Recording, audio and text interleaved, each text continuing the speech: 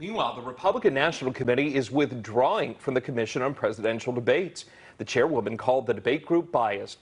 The organization slammed the timing of the debates and said it will look at what it calls newer, better debate platforms.